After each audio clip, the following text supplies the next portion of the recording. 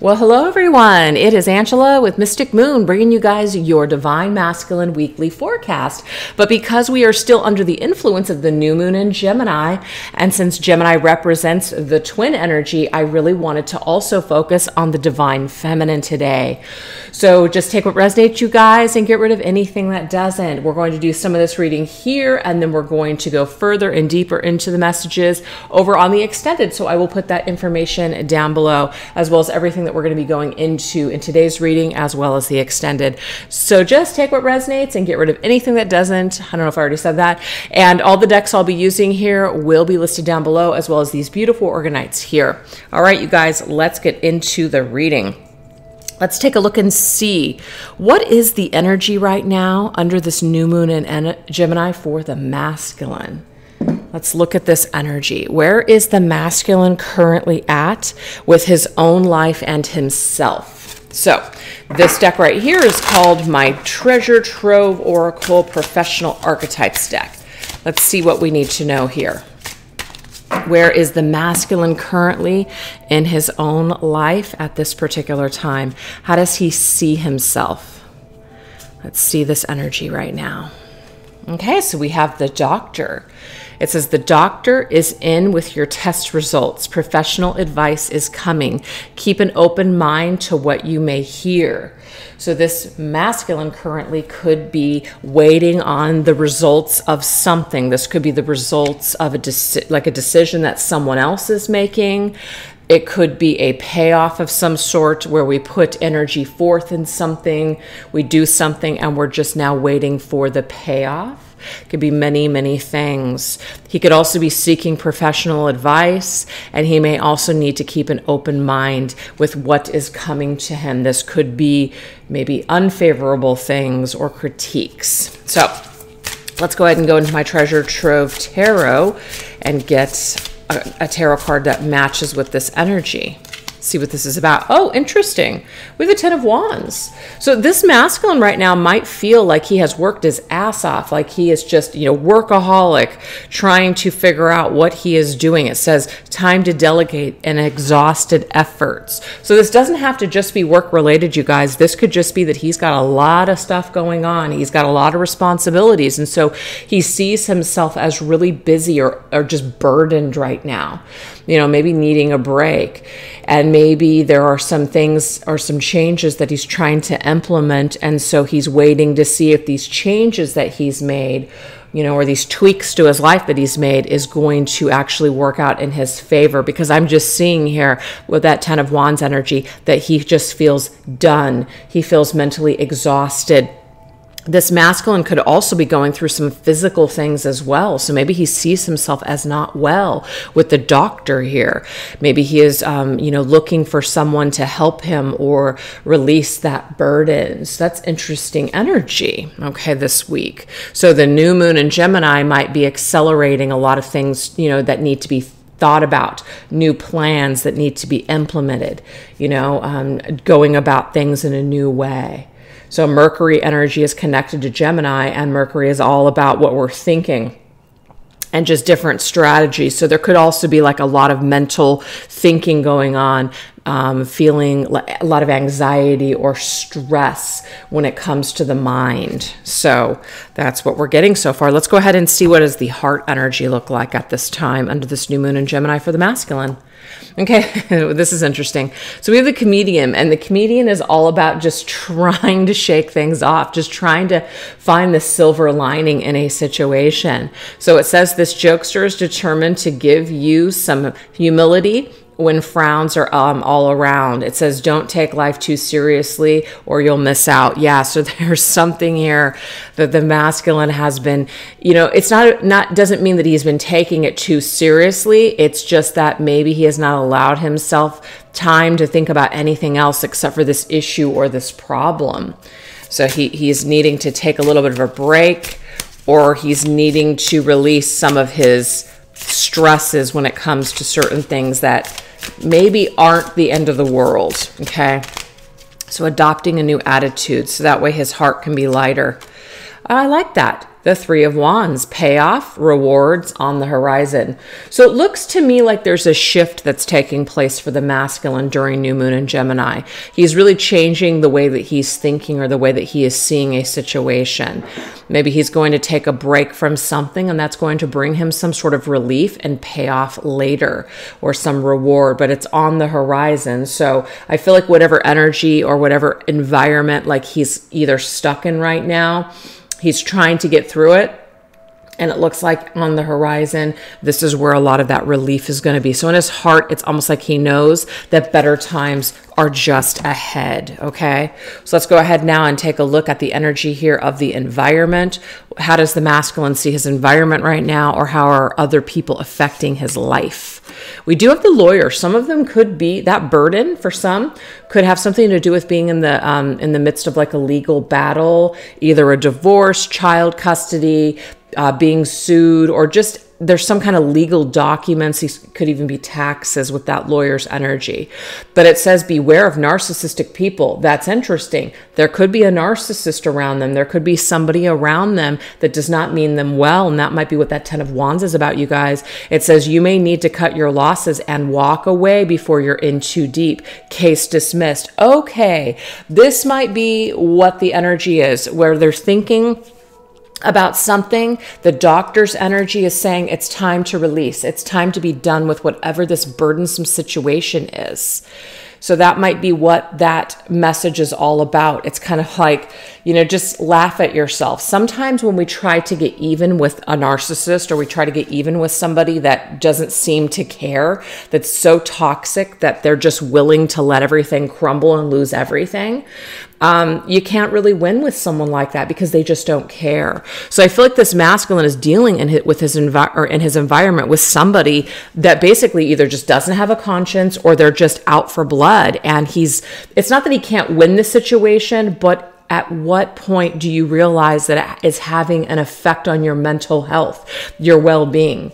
So I feel like this masculine is kind of getting to this point in his heart space. Like he knows that this is just something that's not worth his time or his energy anymore. He just knows that this is something that just he needs to walk away from. So I don't know what that is for everyone, but that's what we have. So better times are ahead. Right now, it might be a little stressful. So let's go ahead and get a tarot with that. Interesting. We have the sun, and I love that because it says here, I am seeing things clearly. I am seeing that this is what I need to do. So if the masculine is in the midst of a custody battle and he's trying to, you know, just kind of do things outside of the court, trying to appease someone, I'm getting here that he is going to have to take matters into his own hands. He's going to have to solidify something through courts, through paperwork, through documents, and have everything um, as a business arrangement because this narcissistic person might be manipulating the masculine and, and, and actually stunting his growth of or the possibility of being happy. Okay this can be uh, a legal situation at work, like a lawsuit or something like that, too.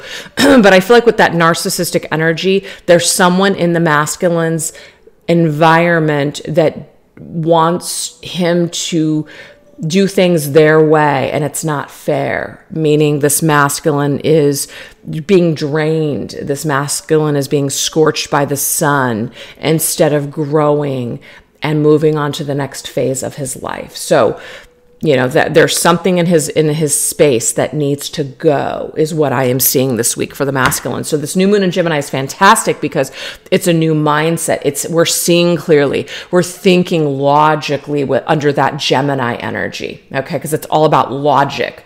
We're not thinking emotionally. We realize that you know that's what a lawyer does or a judge does. They have to think logically. They're not ruling with their emotions. So that is what is clear this week i feel. Very interesting stuff. So let's now take a look at the feminine. All right? So the majority of my viewers are feminine so i'm going to be speaking to you like um, that as in you're the viewer. So let's go ahead and see what's going on for the feminine this week. How is the new moon and gemini affecting this feminine What's coming up for the feminine for this new moon in Gemini? Let's look at this. All right, how does she see herself or what's going on here? Ooh, we have the monk. It says Find inner serenity through the silent monk. Your thoughts become things. So practice becoming the master of your own universe. That's fantastic. So the feminine is taking some time to align her thoughts with the things that she wants, the things that she wants to manifest, instead of spending too much time on fear and on negativity. And we have the Page of Wands. And this is great because this has to do with perhaps ideas. It says a new position, creative projects, a breath of fresh air. That rocket ship is actually pointing up. So this is ascension. This is um, ascension of the mind. This is higher vibrational thinking. This is going places, focusing on your goals, focusing on the things that you'd like to create this week all really wonderful influences for that new moon in Gemini. So I just feel like things are going to start looking up for the feminine. She's going to start thinking in terms of what she can create instead of focusing on the things that she doesn't have. So to me, it's a very uh, go lucky attitude optimistic thinking it's it's really really good so what's going on for the feminine's heart space this week under the new moon in Gemini. Wow, we have the artist energy. And so there could be something very creative that this feminine is really good at. She's artistically inclined. Something that she's creating is going to be well received. But it does say inspiration will soon find you. Express your artistic talents. The world around, I'm sorry, the world would be colorless without your creative gift. So, some feminines could be really feeling like they're in you know they're in their aligned with their purpose and their mission or you're kind of like getting this inclination of what you want to do with your life. Oh it's so fantastic. Love this energy. Okay we have the Eight of Cups, yeah. And this means here, whatever you guys have been doing so far, whether it's career or something that you have been working on, if it's not working or it's not really what you enjoy, you are not afraid to walk away from that because this says branching out, moving onwards, bigger and better things. So it's like you know that the sun, you're wanting to go towards the sun. This little pull with the um, with the cash some of you might be leaving a position that pays more to go onwards to doing something that you really enjoy that might pay a little less. So that's something that you're really trusting your heart space this week that tells you that there's something better for you on the horizon, that there's something that you that are that you're meant to create and so you're going towards that goal. I think that's amazing. What else? Let's take a look at the environment here for the feminine. Ooh, I like that. The dietitian. So it says the health, this health nut is willing to provide knowledgeable input for your plate. Partake in healthier foods to boost, boost your mood and energy levels. Okay. So the feminine realizes that it might be time for her to go on some sort of a diet. And this doesn't necessarily mean physical, even though, like, it can be like with food. This might just be I'm taking a break from social media, I'm taking a break from TV, I'm taking a break from. Uh, being around so many people all the time i'm taking more time and consideration for my own mental well-being and my own you know space and and just being at home with me so there's something here that she's looking to improve with her physical environment. That's what I'm seeing here her physical environment. Yeah, because there's something here that maybe is not making her happy with that Five of Cups. It says setbacks, demotion, and company downsizing. Now, feminine, if you guys have just recently been released from a position or you were not happy at work and you had to maybe step away from a position, this is the best possible thing for you. You might not be able to see that right now, but Spirit is basically telling you to try to see the silver lining in the situation because there's something that maybe just was not meant for you any longer. And the only way that you were going to shift into the new is by being let go. Sometimes that's just how life works. There are tower moments that we can't control, but those tower moments lead to beautiful things. So, Lots of positive things happening this week with that new moon in Gemini for both masculine and feminine. I love it. So now what we're going to do, you guys, is we're going to go into the current connective energies that this new moon in Gemini is representing and how both of you guys are responding to it. So this particular deck right here is called the Twin Flame Ascension cards. So let's see what's going on with this connection. What's going on with your connective energy here? What's being represented or presented, I should say. Ooh, I like this. Reprogram your soul, release, raise, and reclaim. Okay. So sorry, you guys. My cats are, they're just play fighting, but it does sound a little ferocious. But we've got the fives here. So fives are change. Fives are also very challenging. So sometimes we need to feel that pain before we can reclaim and then gain. I like that. So that five, five, this just means both people, the masculine and the feminine of this connection, are actually going through a reprogramming on a soul level. They're releasing things that no longer serve them. They're raising their vibration so that way they can reclaim their path. They can reclaim their destiny. They can reclaim who they really are meant to be in this particular lifetime. It's fantastic. We also have Mission Accomplished 1111. Welcome home. Wow. I've used this deck quite a bit, and that's a card I've never seen before, so that's pretty cool. 1111. You know, that's how, when I see 1111s, I don't think of, oh, uh, union necessarily with the twin. What I see is Spirit is giving me a sign that I am on the right path Okay, welcome home, as in you are reclaiming who you truly are. And that's just how I'm seeing that message. So if some of you guys are seeing 1111s, of course, it could mean different things for, you know, different people. But I just feel like Spirit is basically saying to both twins, that you guys are on the correct path. You guys are walking towards your your destiny. The road is opening up for you. For the masculine we know that there's something that he's needing to release. There's something that he's needing to handle in order for him to be able to reclaim who he truly is. The feminine it looks like there is something that either has already happened or there's something somewhat uh, depressing or painful that could be happening for her right now. But I feel like Spirit is reminding her that this is pushing her on the path that's right for her. So let things go that don't serve. Let things go that just aren't working right now because it's ultimately pushing you towards this path of enlightenment. Oh, I love that. And we have reunion. Oh my gosh, you guys, that is so cool. So, yes, some of you, this does mean for you, even though I see, I already just said this. That doesn't mean every time I see 1111, it doesn't mean reunion for me. But guess what? For some of you, it is. That's so cool. 1010. So we have reunion, reconciling differences. Some of you guys could experience a reunion under this new moon's influence or whatever shifts and changes take place under this new moon and Gemini's influence. Oh, that's so cool. Yeah, so spirit is basically saying here, whatever needs to be reconciled. Um, this these could also be the reconciling the differences within ourselves, and uh, that is also reclaiming who we truly are by ex- experiencing things that we need to release, so we can raise our vibration and reclaim who we truly are. So to me, this is a union either within or a union with your person, with your with your twins. So that's very very cool. Okay. This deck is called the Twin Flame Key Cards. Let's see what else is coming through for this connection this week.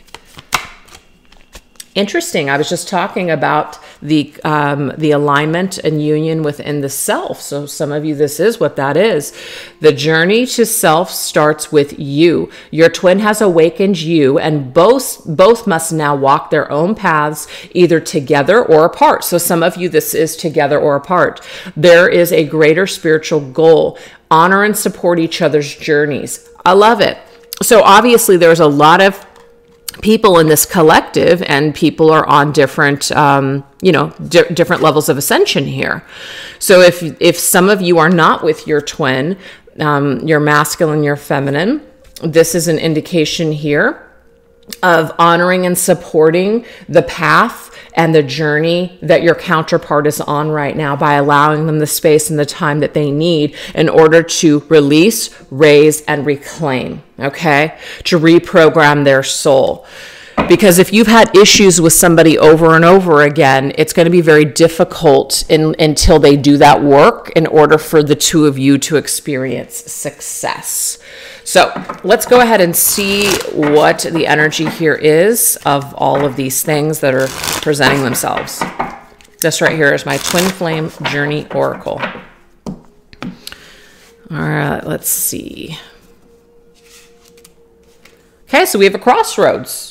And I feel like both masculine and feminine actually are at a crossroads. This could be with the connection. This could just be in your own lives. I really saw a lot of that energy, so that makes sense to me. Let's go into my Twin Flame Journey Tarot and see what that crossroads is about. We have the Knight of Pentacles. So the Knight of Pentacles is Virgo's energy. And Virgo, uh, or this Knight of Pentacles, is one of the slowest moving knights in the entire tarot deck. Uh, that's why we've got the snail there representing the movement here. It almost seems like there is no movement, but we do have the word steady progress.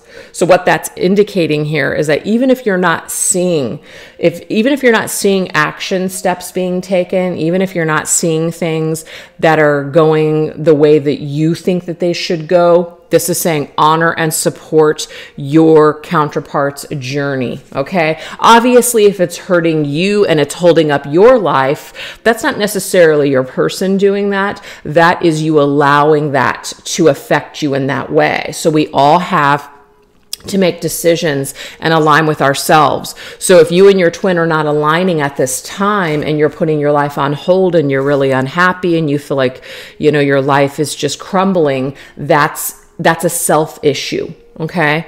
So we are being asked to honor and support and sometimes that means letting your person figure things out on their own, letting them do what they need to do. Of course, you know, um, again, we're not suggesting that we just allow people to hurt us and treat us like crap and like an option or a doormat. Okay, so we don't want to get that mixed up. But this to me just tells me that right now this connection could be at a crossroads and it will take some dedicated effort from that Knight of Pentacles to start somewhere. So I feel like this is probably the beginning stage of working towards this reunion. That's what I'm seeing. And of course, this really starts with the self.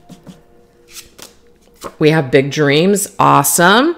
So I can clearly see that both the masculine and feminine look like they've got some things that they want to do, especially the feminine. The feminine has a lot of big dreams. She's got a lot of creative potential, creative talent to do something, to walk her journey towards her purpose, her mission, her destined path. And I also feel like the masculine is walking towards his own destined path in a different way.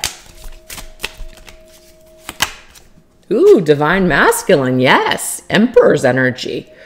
So I feel like there's big things actually ahead.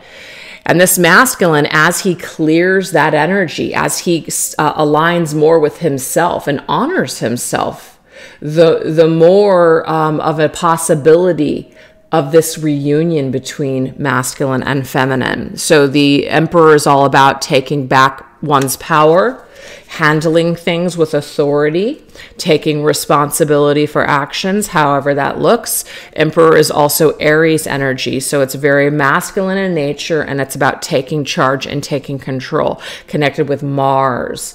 And Mars is very passionate gets things done but sometimes can also you know turn to anger and sometimes anger can be a motivator to get things done. And I feel like whatever the masculine is currently experiencing, he might need to get angry, he might need to get passionate in order to be done with a narcissistic person or a situation that's holding him back and get serious about putting his life back in order and taking back his power. That's what I'm seeing here with that for the for the masculine. What else? Yeah, we have the material world. So there's a lot of different things that are happening um, in the material world right now. A lot of things that could um, could like a lot of changes that could be experienced here that are going to lead to the eventual outcome of this connection. So there could be karmic contracts with other people. There could just be things that are happening on that level. Yep some imprisoned energy. There might be fear around money or there might be fear around survival. So, you know, whether this is feminine or masculine, I actually feel like it might be a little bit more of the masculine just because of what I've seen so far. As long as he continues to just kind of stay uh, stuck or imprisoned in a unsatisfactory situation, the less that he is going to be aligned with himself. So, uh, the Eight of Swords always reminds us that there's something that we're thinking, there's a way that we're handling our lives that kind of keep it from changing. And that's just what I'm seeing here. That could of course apply to the feminine as well. But i love this because we do have there is a new direction there is a new way. And that's what this new moon in gemini is actually representing is that, that we can uh, create these new changes under this new moon's influence. We can make certain choices right? We can make we can make different choices actually than we've been making for a while that will change everything. And this is about committing to a goal. The Four of Wands can be seen as that 1111 card, the foundation of the connection, the foundation of the twin flame, you know, connection and journey. So I just feel that even though these this house and this dream might be in the clouds right now where it's not really based in reality or maybe it doesn't seem like it can ever be a reality, Spirit is actually suggesting for both the masculine and feminine to align with the self. Let that be your focus instead of focusing on your person, you know, so much because this will also this will actually help to strengthen, you know, the connection by strengthening yourselves. So that's that message there. And that's a pretty general one that we always hear, but sometimes people need to hear it again. Ooh, we have the muse energy. So there there could be some creative people here masculine and feminine could be very artistic, but this to me is like we're creating our own canvas, we're creating our own picture. So we are going to be going into on the extended what the story currently is in our mind. Is it a good one? Is it a positive one? We we create what we're you know like we're creating constantly with what we're thinking and what we're feeling and how we're seeing ourselves as well as how we're seeing other people. So i feel like there's an opportunity to upgrade this energy to see things more positively. Oh yes and you guys can do it absolutely.